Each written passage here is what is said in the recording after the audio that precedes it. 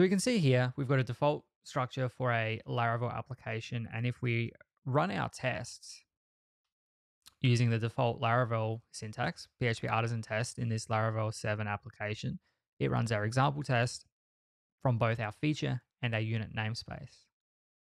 Now, the first thing we're going to do to get up and running is install Pest. At the time of this recording, Pest is still in active development, but it's on the very cusp of being released. So the installation steps may change a little bit. And obviously, once this is released and it's out of beta, it's going to be much easier to install. But for the time being, we need to install some development dependencies into our application. Laravel 7 supports both PHP Unit 8.5 and above and PHP Unit 9.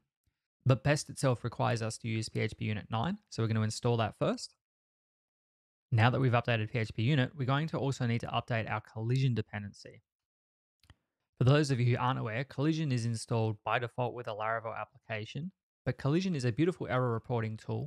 It gives us much cleaner output and much more focused error output when our tests do fail so that we can get right to fixing the test failures rather than pouring through lines and lines and lines of vendor stack traces. Next, we're going to want to install Pest itself.